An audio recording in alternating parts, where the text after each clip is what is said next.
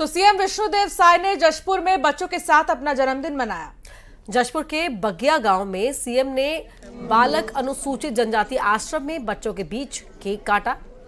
CM Sai ने बच्चों को अपने हाथ से केक खिलाया। साथ ही सीएम विष्णुदेव साय ने अपने परिवार के लोगों के साथ केक काटकर अपना जन्मदिन मनाया। दो तस्वीरें टीवी स्क्रीन पर।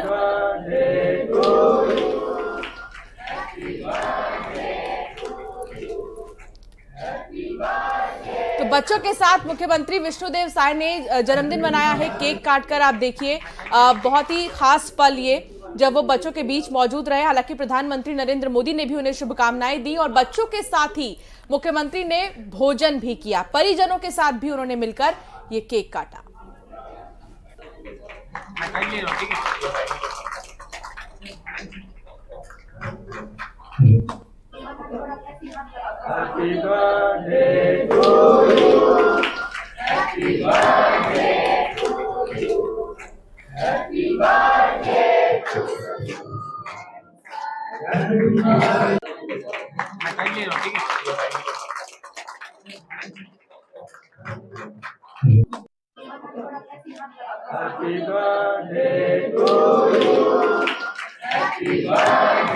प्रदेश के मुख्यमंत्री विष्णुदेव साय आज अपना साठवां जन्मदिन मनाने के लिए जशपुर पहुँचे हैं। हमारे साथ मौजूद हैं सूबे के मुख्यमंत्री।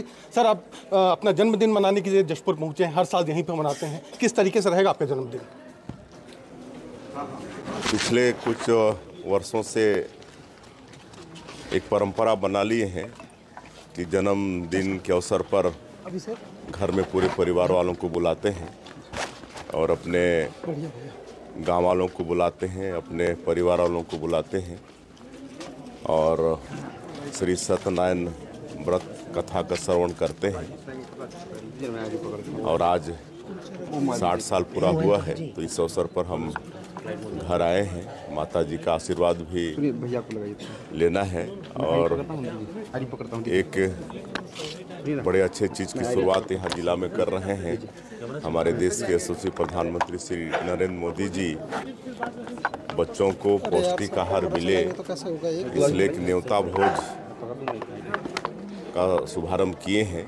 न्योता भोज का मतलब कोई भी व्यक्ति अपना जन्मदिन हो या अपने किसी प्रिय का जन्मदिन हो या विशेष अवसर हो तो उस अवसर पर पास में जो भी हॉस्टल है स्कूल है उनको अपने तरफ़ से भोजन कराएगा खिलाएगा। तो एक अच्छी परंपरा है। मतलब सिर्फ़ सरकार का ही काम नहीं है बच्चों को पौष्टिक आहार देना मतलब समाज इस तरह से आगे आएगा। तो निश्चित रूप से हमारे बच्चों को अच्छा पौष्टिक आहार मिलेगा। तो उसकी शुरुआत आज हम लोग यहाँ से किए हैं ज़िले से। अब इसके बाद सभी लोग इसका अनुकरण करेंगे। हमारे कलेक्टर साहब हैं एसपी साहब हैं और भी हमारे जो गणमान्य लोग हैं सब विशेष अवसर में उनके पास में जो भी स्कूल छात्रावास होगा वहाँ बच्चों को इस तरह से अ, न्योता भोज कराएँगे। सर पूरे प्रदेश से आपको बधाइयाँ मिल रही हैं। तो आज अपने जन्मदिन पर कोई बड़ी घोषणा करेंगे आप? देखिए हमारी सरकार तो लगातार मोदी की गारंटी को पूरा करने के लिए काम कर रही है। आ, बहुत बड़े बड़े काम अभी दो महीने के सरकार में ही किए हैं। प्रधानमंत्री आवास दो साल का बकाया बोनस अभी महतारी बंधन योजना अगले महीना से शुरू कर रहे हैं। सत्तर लाख से ज़्यादा आवेदन फार्म जमा हो चुका है और जो विवाहित माताएँ, बहनें हैं, उनके खाते में मार्च महीने से महतारी बंधन योजना का पैसा भेजना शुरू करेंगे। आज कोई खास नहीं है, लेकिन आज हमारा सौभाग्य है कि आज सभी बड़े लोगों का आशीर्वाद मिला है। माननीय प्रधानमंत्री जी का, माननीय राष्ट्रपति जी का, उपराष्ट्रपति जी का, राष्ट्रीय अध्यक्ष जी का, गृह मंत्री जी का, सबका सभी वरिष्ठों का आशीर्वाद हमको मिला है।